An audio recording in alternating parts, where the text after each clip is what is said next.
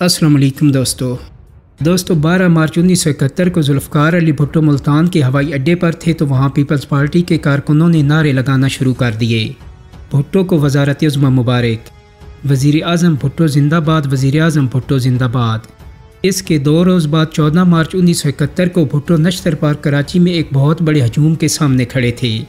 इस जलसे में पीपल्स पार्टी के हज़ारों कारकुनों ने डंडे उठा रखे थे। पीपल्स पार्टी ने पीपल्स गार्ड के नाम से नौजवानों की एक ताकतवर फोर्स बना रखी थी और इस फोर्स ने इस जलसे में भुट्टो को नाजियों के से अंदाज में सलूट भी किया। लेकिन फिर हुआ यूँ कि इस जलसे में जुल्फ़ार अली भुट्टो रोने लगे। उन्हें साफ़ लग रहा था कि बहुत से लोग ये समझ रहे हैं कि शेख मुजीबर को इकतदार सपुर्द ना करने की वजह वो हैं। इसी तासर को ज़ायल करने के लिए उन्होंने रोते हुए कहा कि मैं अपने बच्चों की कसम खाता हूँ कि मैंने मुल्की इतिहाद के ख़िलाफ़ कोई साजिश नहीं की। सितम ज़रीफ़ी देखिए कि इसी तकरीर में जिसमें वो रो रो कर कह रहे थे कि मैंने मुल्क के इतिहाद के ख़िलाफ़ कोई साजिश नहीं की, इसी में उन्होंने वो बात भी की जिस पर अगले दिन के अखबार में ये सुर्खी लगी कि उधर तुम, इधर हम।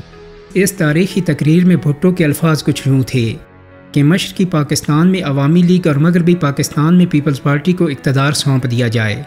दोस्तों, भुट्टो की इस तजवीज़ को जिसने भी सुना, उसने इसे मुल्क तोड़ने का मशवरा करार दिया।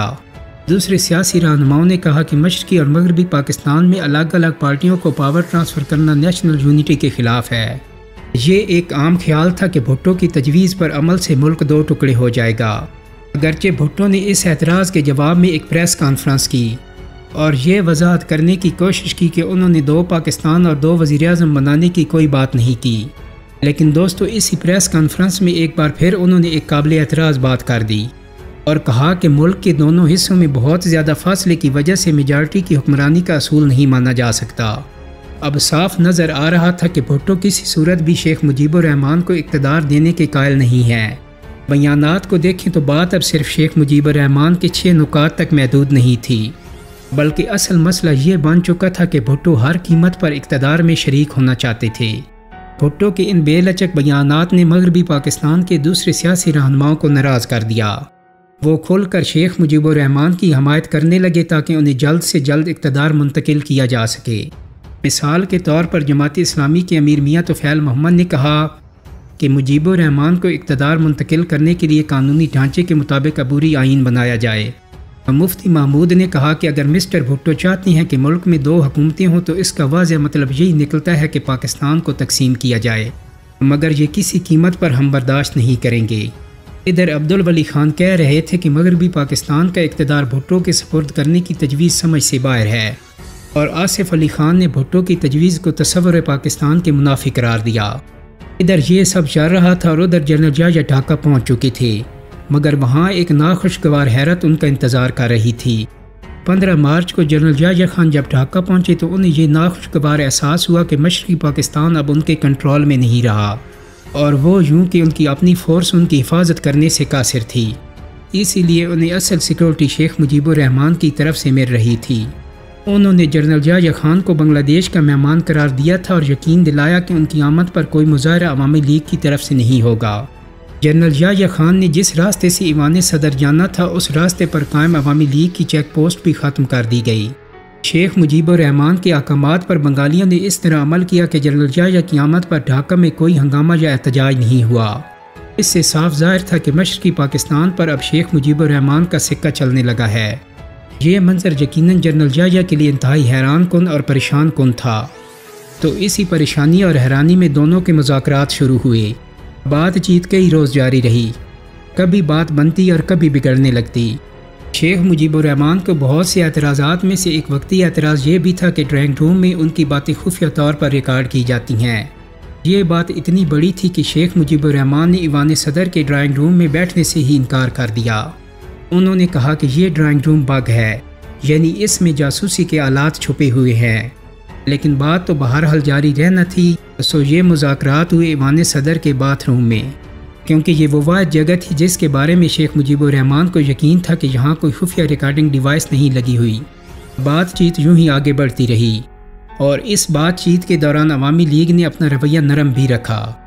अदम ताउन की तहरीक ख़त्म तो नहीं हुई, लेकिन अवामी लीग ने मशरकी पाकिस्तान से सरमाया की मुंतकली रोकने की जो चौकियाँ कायम की थीं वो ख़त्म कर दी। बैंकों ने भी काम शुरू कर दिया और यूँ लगने लगा कि हालात शायद मामूल पर आ रही हैं। इस दौरान मगरबी पाकिस्तान के कई सियासी कैदीन जैसे मौलाना मुफ्ती महमूद और अब्दुल वली खान भी ढाका पहुँच चुके थे और शेख मुजीबर के साथ अपने तौर पर बातचीत में मसरूफ़ थे। कौम को ये खुशखबरी भी सुना दी गई कि सदर जनरल जाज खान और मुजीबर ने अबूरी हुकूमत के क्याम पर इतफाक़ कर लिया है और इस अबूरी हुकूमत में अवामी लीग पीपल्स पार्टी और नेशनल अवामी पार्टी के नुमाइंदों को शामिल किया जाएगा। अदम ताउन की तहरीक भी ख़त्म हो जाएगी। यहाँ तक कि इब्तदाई आइनी ढांचा भी तैयार कर लिया गया है। ये पाकिस्तानियों के लिए बहुत बड़ी खुशखबरी थी।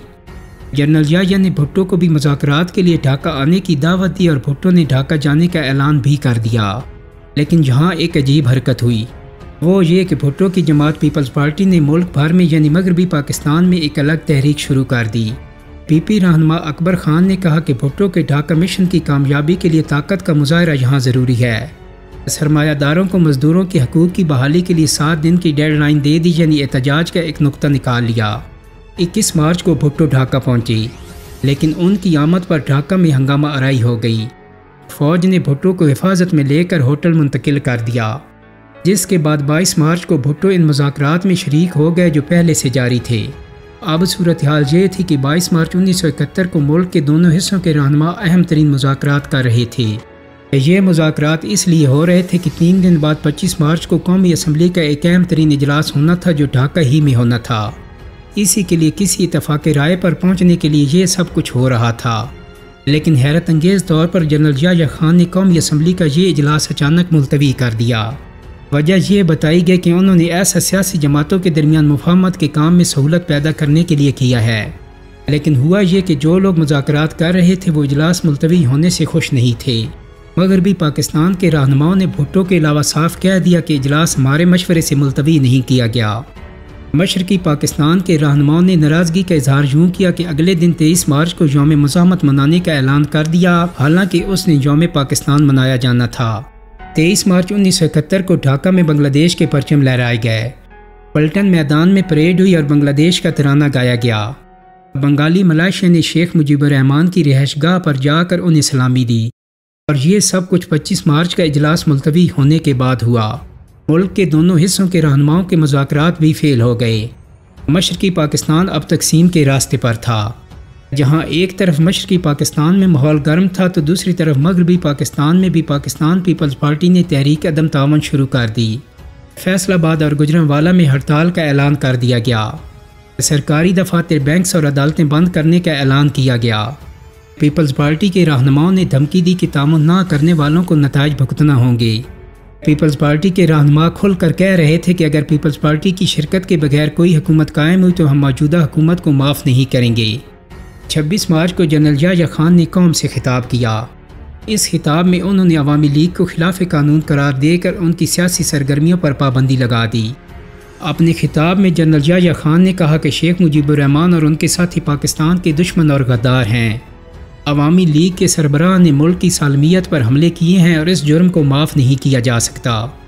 जनरल या कौम को ये सब तो बता रहे थे, लेकिन दो अहम बातें नहीं बता रहे थे। वो दो अहम बातें जिनका उनकी अपनी कौम के मुस्तबिल से गहरा ताल्लुक था, वही छुपा रहे थे।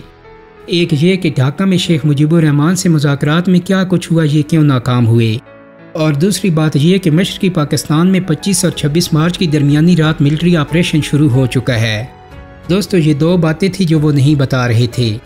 लेकिन देखिए कि इस इंतहाई नाजुक मरहले पर इतने बड़े फौजी ऑपरेशन की हमायत मशरकी और मगरबी पाकिस्तान में कोई बड़ा सियासी लीडर नहीं कर रहा था। सिर्फ़ एक सियासी लीडर इस ऑपरेशन की तारीफ़ में बोला और वो लीडर था जुल्फ़ार अली भुट्टो। उन्होंने कहा कि खुदा का शुक्र है पाकिस्तान को बचा लिया गया।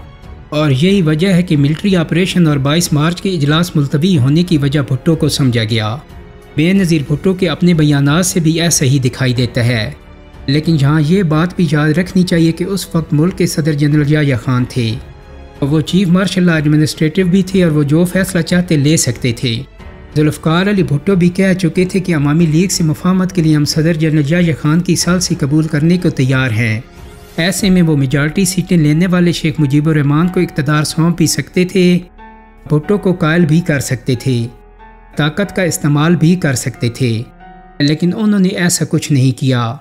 दोस्तों, उम्मीद करता हूँ कि मेरी आज की वीडियो आपको पसंद आई होगी। अगर वीडियो अच्छी लगी है तो उसको लाइक और शेयर कर दें। मेरे चैनल को सब्सक्राइब करने के साथ साथ बेल आइकान को भी क्लिक कर दें, ताकि आपको मेरी आने वाली मज़ीद वीडियोस के नोटिफिकेशन मिलते रहें। बहुत जल्द ही एक नई वीडियो के साथ मुलाकात होगी। अपना बहुत सारा ख्याल रखिएगा। अल्लाह हाफिज़।